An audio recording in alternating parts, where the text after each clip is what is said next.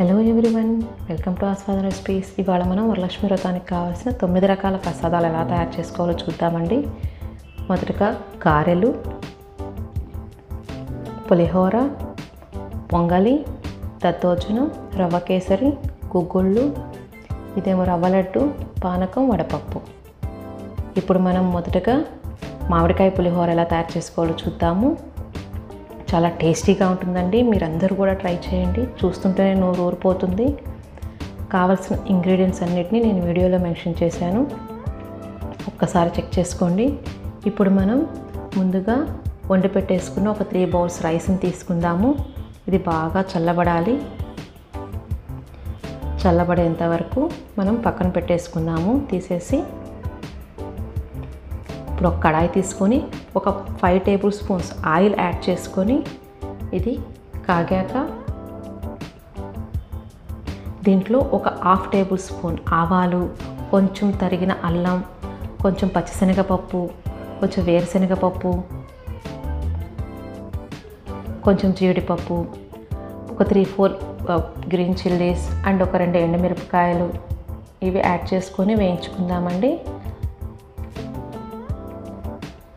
ఇప్పుడు కరివేపాకు కూడా వేసేసాను నేను.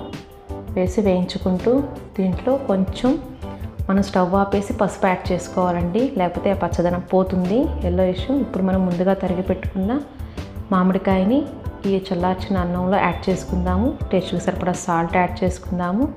బాగా మిక్స్ చేసుకొని నేను కొంచెం ముక్కలుగా కూడా వేస్తున్నాను మామిడికాయ. పుల్ల పుల్లగా చాలా బాగుంటాయి తింటుంటే అని.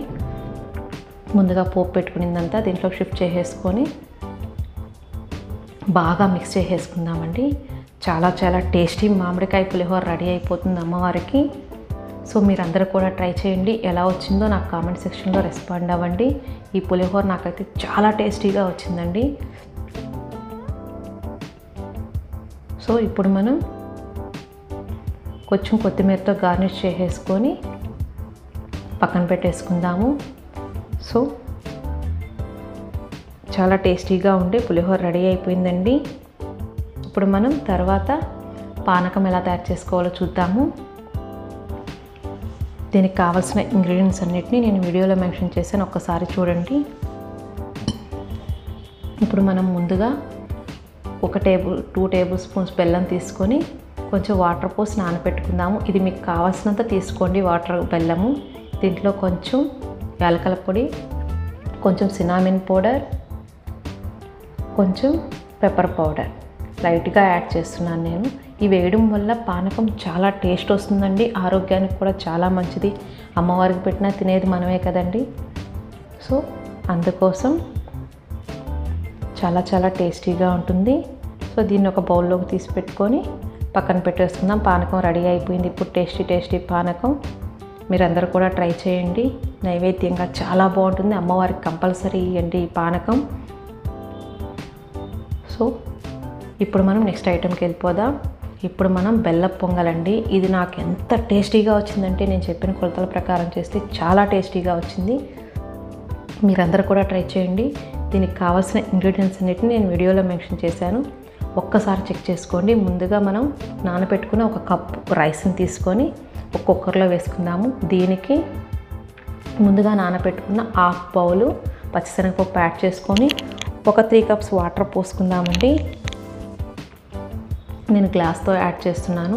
ఇప్పుడు మనం ఒక సిమ్లో ఒక ఫైవ్ టు సిక్స్ విజిల్స్ రానిచ్చి దింపేసి దీన్ని బాగా కలియబెడదాము పచ్చిశనగపప్పు ఆ రైస్ మొత్తం మిక్స్ అయ్యేంత వరకు యాడ్ చేసుకొని ఇది చాలా చాలా టేస్టీగా ఉండే పొంగలండి. మీరందరూ ఖచ్చితంగా ట్రై చేయండి. అమ్మవారికి నైవేద్యంగా చాలా బాగుంటుంది.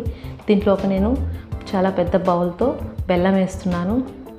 కొంచెం స్వీట్ ఎక్కువగా ఉండడం కోసం కొంచెం స్వీట్ ఎక్కువగా ఉంటేనే ఈ పొంగల్ టేస్టీగా ఉంటుందండి. సో ఇప్పుడు ఇది వేసి బాగా మిక్స్ చేసేసి గ్యాస్ మీద పెట్టేసి ఆ బెల్లం కరిగేంత వరకు మనం మిక్స్ చేసుకుంటూ ఉండాలండి. చూసారు కదా? నాకు ఎంత టేస్టీగా వచ్చిందంటే ఈ పొంగల్ నేను చెప్పలేనండి. అంత టేస్టీగా వచ్చింది. నేను చెప్పిన కొలతల ప్రకారమే మీరు అందరూ ట్రై చేయండి. అమ్మవారికి మంచి నైవేద్యం అండి ఈ బెల్లం పొంగలి. ఇది మీ కలర్ చూస్తుంటేనే చాలా బాగుంటుంది. సో బాగా బెల్లం మొత్తం కరిగిపోయింది. ఇప్పుడు మనం ఒక కప్పు మిల్క్ యాడ్ చేసుకుందాము. ఇది మనం దించబోయే ముందు యాడ్ చేయాలండి. లేకపోతే మిల్క్ బెల్లం కాబట్టి ఇరిగిపోతాయి. సో ఒక ఫైవ్ మినిట్స్ మిక్స్ చేసేసి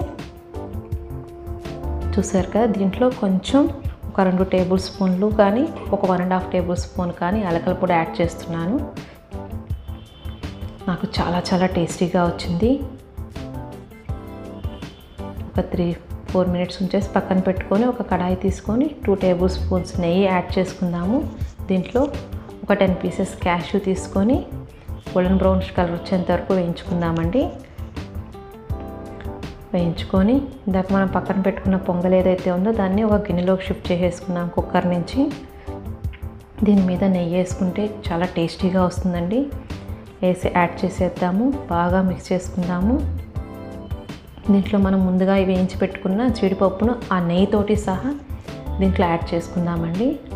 చాలా చాలా టేస్టీగా వస్తుంది. అమ్మవారికి ఇష్టమైన నైవేద్యం అండి ఇది.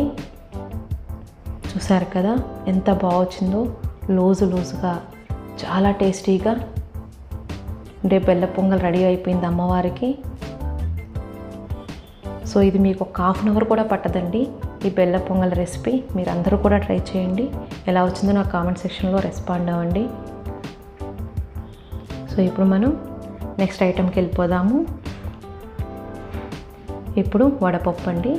చాలా సింపుల్ రెసిపీ ఫైవ్ మినిట్స్లో అయిపోయే రెసిపీ అండి ఇది. దీనికి కావాల్సిన ఇంగ్రీడియంట్స్ అన్నిటిని నేను వీడియోలో మెన్షన్ చేశాను. ఒకసారి చెక్ చేసుకోండి. ముందుగా మనం ఒక చిన్న కప్పు పెసరపప్పుని వాటర్లో వేసి నానబెట్టుకుందాము. ఇది ఒక టెన్ మినిట్స్ ఫిఫ్టీన్ మినిట్స్ నానాక ఒక గిన్నెలోకి షిఫ్ట్ చేసేసుకొని దీంట్లో మనం ముందుగా తరిగి పెట్టుకున్న పచ్చిమిర్చి ఒక రెండు మూడు యాడ్ చేసుకుందాము.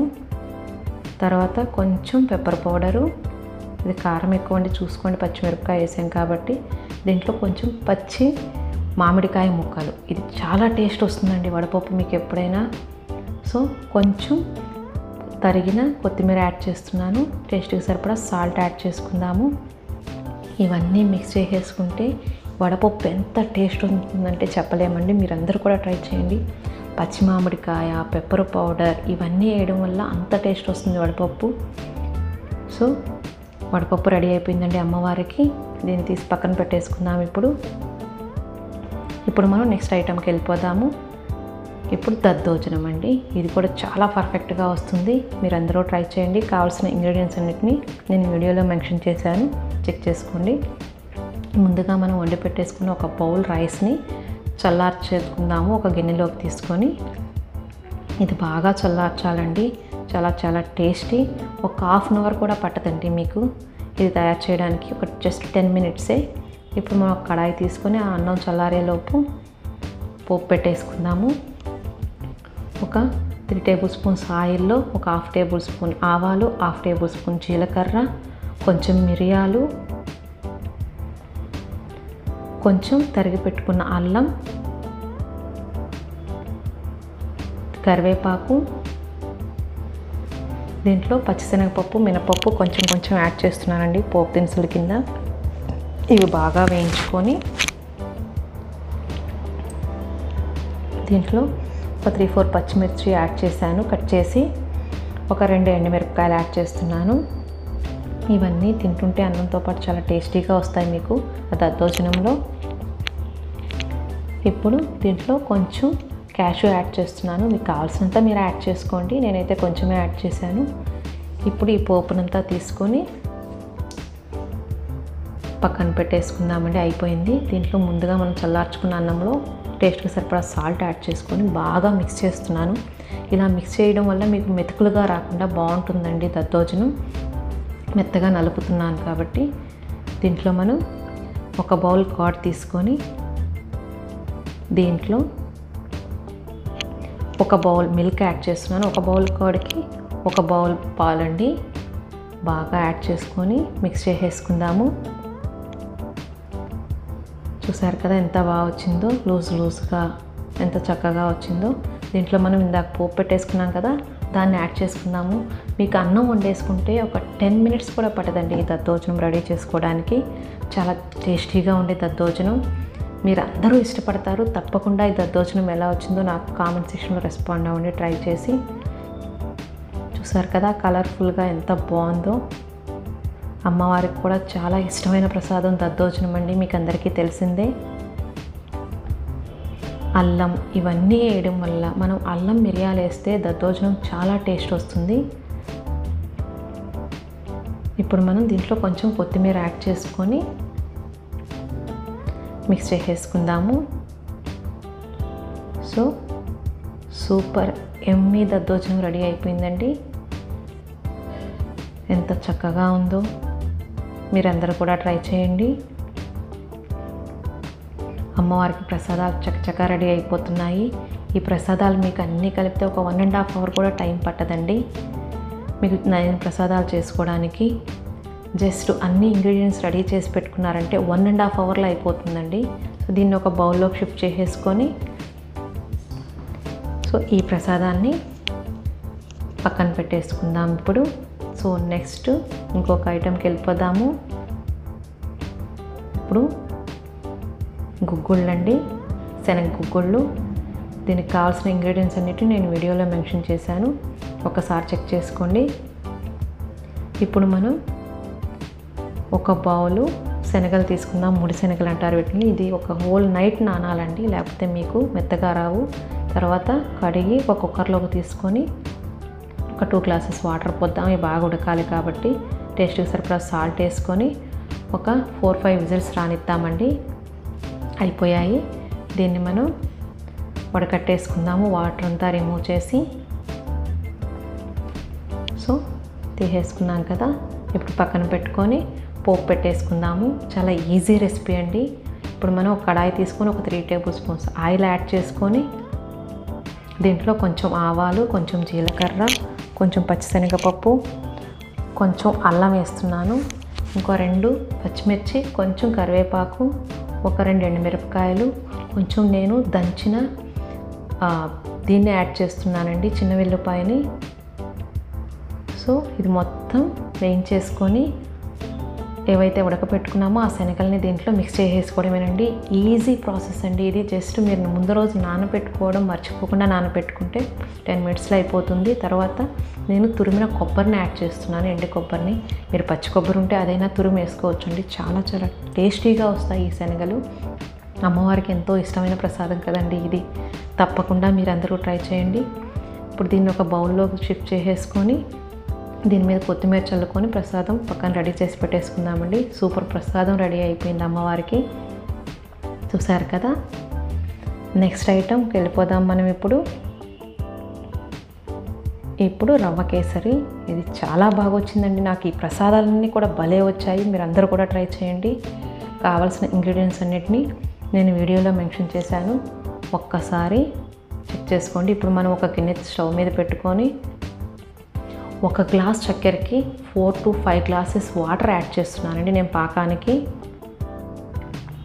ఇవి హీట్ అయ్యాక ఒక ఒక గ్లాసు రవ్వకి టూ గ్లాసెస్ చక్కెర యాడ్ చేస్తున్నానండి. అది కప్ అయితే కప్పు లేకపోతే గ్లాస్ అయితే గ్లాసు. ఇది మొత్తం కరగనిచ్చి ఈ లోపల మనం కడాయి తీసుకొని దీంట్లో నెయ్యి వేసుకొని ఆ రవ్వని వేయించుకుందామండి.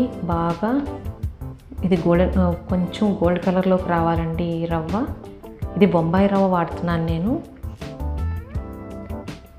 సో ఇది బాగా వేయించుకున్నాక ఈ బొంబాయి రవ్వని ఏదైతే మనం ఇందాక పెట్టుకున్నామో పాకానికి దాంట్లో కొంచెం యాలకల పొడి వేసుకుందాము.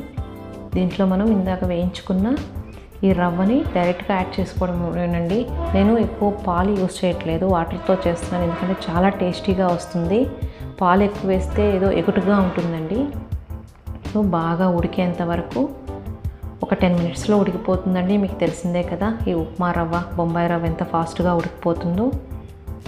దీంట్లో కొంచెం నేను కేసరి ఆరెంజ్ రెడ్ వాడుతున్నాను. దీంట్లో కొంచెం మిల్క్ యాడ్ చేశానండి ఆ కలర్లో అంతేను. ఎక్కువ పాలు యూస్ చేయట్లేదు. దీన్ని దీంట్లో మిక్స్ చేసేసి బాగా కలియబెట్టేద్దాము. సో అయిపోయింది. మీకు కేసరి రెడీ అయిపోయింది టెన్ మినిట్స్లో. చాలా ఈజీ ప్రాసెస్ అండి. అమ్మవారి ప్రసాదం ఇంకొకటి రెడీ అయిపోయింది.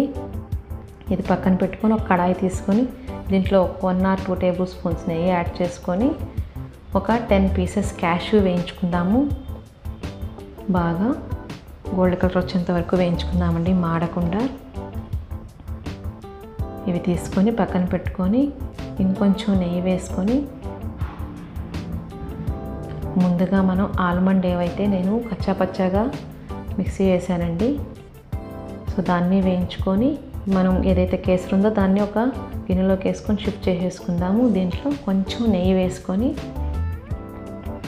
దాంట్లో ముందుగా మనం వేయించి పెట్టుకున్న క్యాష్యూ అండ్ ఆల్మండ్ వేసి బాగా మిక్స్ చేద్దామండి. కేసర్ రెడీ అయిపోయింది. Colourful red colour.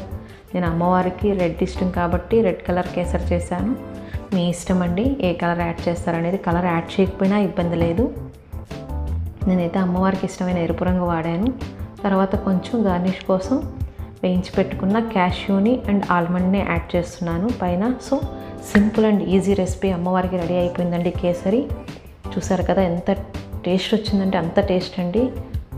తర్వాత మనం నెక్స్ట్ ఐటమ్కి వెళ్ళిపోదాము నెక్స్ట్ ప్రసాదం గారెలు కరకరలాడే మినపప్పు గారెలు చాలా బాగా వచ్చాయండి నాకు. నేను చెప్పిన విధంగా మీరు ట్రై చేయండి. ఎంత బాగా వస్తాయో చెప్పలేము అసలు. మీరే నాకు కామెంట్ సెక్షన్లో రాస్తారు. అంత టేస్టీగా వచ్చాయని. కావాల్సిన ఇంగ్రీడియంట్స్ అన్నింటినీ నేను వీడియోలో మెన్షన్ చేశాను. ఒకసారి చెక్ చేసుకోండి. మనం ఒక ఫోర్ అవర్స్ ముందుగా నానబెట్టుకున్న మినపప్పుని క్లీన్ చేసుకొని మిక్సీ జార్లో వేసుకుందాము. సో దీంట్లో టేస్ట్కి సరిపడా సాల్ట్ యాడ్ చేసుకొని కొంచెం వాటర్ యాడ్ చేసుకొని మిక్సీ జార్ పట్టేసి ఒక బౌల్లో షిఫ్ట్ చేసుకుందామండి. చూసారు కదా వడపిండి రెడీ అయిపోయింది. గారెల పిండి దీన్ని వడ అంటారు గారెలు అంటారు ఏమైనా అనొచ్చండి దీంట్లో. కొంచెం పచ్చిమిర్చి అండ్ ఒక హాఫ్ బౌలు తరిగిన ఉల్లిపాయలు యాడ్ చేస్తున్నాను. బాగా మిక్స్ చేసేసుకొని వడపిండి రెడీ అయిపోయింది ఇప్పుడు మీకు. సో ఇప్పుడు ఒక కడాయి తీసుకుందాము. బాగా సాఫ్ట్గా ఉండే దాంట్లో ఆయిల్ కాగాక గార్లు వేసేసుకోవడమేనండి. సో అయిపోయింది. గార్లు ఇంకా వేయించడమేనండి లేటు. వేసేసాను దీంట్లో. నాకు ఎంత క్రిస్పీగా ఎంత టేస్టీగా వచ్చాయో చెప్పలేనండి. చాలా చాలా టేస్టీగా వచ్చాయి. మీరందరూ కూడా నేను చెప్పిన విధంగా ట్రై చేయండి. మినపప్పు అనేది మీ ఇష్టం అండి మీ ఇంట్లో మనుషులను బట్టి యాడ్ చేసుకోండి. ఇంకా పచ్చిమిర్చి ఉల్లిపాయలు అంటారా? అది కూడా పప్పుకు తగ్గట్టు వేసుకోవడమే. ఒక హాఫ్ బౌల్ కానీ మినపప్పు ఎక్కువైతే ఒక వన్ బౌల్ యాడ్ చేసుకోండి ఉల్లిపాయలు. సో ఎంత కరకరలాడుతుంటాయంటే ఒక ఫోర్ అవర్ నానితే చాలండి ఈ మినపప్పు. కరకరలాడే గారెలు రెడీ అయిపోయాయి. చూసారు కదా అమ్మవారికి గారెల ప్రసాదం రెడీ చేసేసుకున్నాము. సో వీటన్నిటిని తీసుకొని ఒక ప్లేట్లోకి షిఫ్ట్ చేసేసుకున్నామండి. కరకరలాడే గారెలు. చాలా చక్కగా రెడీ అయిపోయాయి. మీరందరూ కూడా ట్రై చేయండి. ఎలా వచ్చిందో నాకు కామెంట్ సెక్షన్లో రెస్పాండ్ అవ్వండి. ఎంత కలర్ఫుల్గా ఎంత బాగున్నాయో ఈ గారెలు అసలు. నెక్స్ట్ ఐటెంకి వెళ్ళిపోదామండి ఇప్పుడు. సో నెక్స్ట్ ఐటమ్ రవ్వ లడ్డు. ఇది ఎంత బాగా వచ్చిందో చెప్పలేనండి నేనైతే ఈ రవ్వ లడ్డుని. తింటుంటేనే ఎంతో బాగుంది. కావాల్సిన ఇంగ్రీడియంట్స్ అన్నిటిని నేను వీడియోలో మెన్షన్ చేశాను. ఒక్కసారి చెక్ చేసుకోండి. ముందుగా మనం ఒక కడాయి తీసుకొని ఒక two table spoons oil add చేసుకొని దీంట్లో ఒక టెన్ పీసెస్ క్యాష్యూ వేసి బాగా కొంచెం కలర్ మారేంత వరకు వేయించుకుందామండి. వేయించుకొని ఒక బౌల్లోకి తీసుకొని పక్కన పెట్టుకొని తర్వాత ఆల్మండ్ ఇది కూడా క్రష్డ్ అండి. ఇది కూడా వేయించి జస్ట్ అట్లా వేయించితే చాలండి ఆల్మండ్ అనేది లేకపోతే మాడిపోతుంది. దీన్ని కూడా ఒక బౌల్లోకి తీసుకొని పెట్టుకుందాము తర్వాత ఒక four to five table spoons నెయ్యి యాడ్ చేసుకొని నెయ్యి మీ ఇష్టం అండి తినేదాన్ని బట్టి. రవ్వ వేయించడం కోసం నేను ఒక కప్పు రవ్వ వాడుతున్నాను. ఒక గ్లాస్ కానీ ఒక కప్పు కానీ మీ ఇష్టం అండి అది. ఇది కొంచెం బాగా వేగాలి. కొంచెం కలర్ మారేంత వరకు బాగా వేయించుకుంటూ దీన్ని చూసారు కదా ఎంత బాగా. ఇప్పుడు ఒక గిన్నెలోకి షిఫ్ట్ చేసుకొని దీంట్లో షుగర్ అయి మిక్స్ చేసుకుందామండి. ఒక గ్లాస్ రవ్వకి ఒక గ్లాస్ షుగర్ అండి. కొంచెం ఇలాచీ పౌడర్ ఆల్మండ్ అండ్ క్యాష్యూ. ఇవన్నీ వేసుకొని మిక్స్ చేసేసుకుందాము. ఇప్పుడు కొంచెం నెయ్యి వేసి యాడ్ చేసుకుందాము. బాగా కలియబెట్టేసి మనకి ముద్దకు రావాలండి ఇవి. సో ముద్దకు రావాలంటే మనం కొంచెం పాలు కంపల్సరీ మిక్స్ చేయాలి. పాలు వేస్తేనే రవ్వ లడ్డు అనేది మీకు టేస్ట్ వస్తుంది. కాచి చల్లార్చుకున్న పాలండి. చూశారు కదా? కొంచెం ముద్దకు వచ్చేటట్లు వచ్చేసింది. మీరందరూ కూడా ట్రై చేయండి. అమ్మవారికి తొమ్మిది రకాల ప్రసాదాలు. వన్ అండ్ హాఫ్ అవర్లో ఎంత ఫాస్ట్గా అయిపోయాయంటే నాకు చెప్పలేను నేను. సో ఇప్పుడు రవ్వ లడ్డుని లడ్డూలు లడ్డూలుగా చేసేసుకుందామండి రౌండ్గా. నాకు జస్ట్ వన్ అండ్ హాఫ్ అవరే పట్టిందండి. నైన్ ఐటమ్స్కి. సో మీరు కూడా కొంచెం ఫాస్ట్గా చేసేవాళ్ళు ఉంటారు స్లోగా చేసేవాళ్ళు ఉంటారు. కొంచెం హాఫ్ అన్ అవర్ అటు ఇటు అందరికీ రెడీ అయిపోతాయండి. ఎక్కువ శ్రమ ఉండదు మీకు. మీరందరూ కూడా ఇవి ట్రై చేసి మీకు ఎలా వచ్చిందో నాకు కామెంట్ సెక్షన్లో రెస్పాండ్ అవ్వండి. చాలా టేస్టీ టేస్టీగా ఉండే రవ్వ లడ్డు రెడీ అయిపోయింది. నాకు తొమ్మిది రకాల ప్రసాదాలు కూడా ఎంత చక్కగా వచ్చాయో చెప్పలేను అసలు. ఇప్పుడు మనం జీడిపప్పుతో గార్నిష్ చేసుకోవడమేనండి. అమ్మవారికి నైవేద్యం రెడీ అయిపోయింది. తొమ్మిది రకాల నైవేద్యాలు. అందరూ వరలక్ష్మీదేవి వ్రతం బాగా చక్కగా చేసుకుందామండి. మీరందరూ కూడా ట్రై చేసి ఎలా వచ్చిందో నాకు కామెంట్ సెక్షన్లో రెస్పాండ్ అవ్వండి. Please watch the video like the video and subscribe the channel. Thank you so much for your support.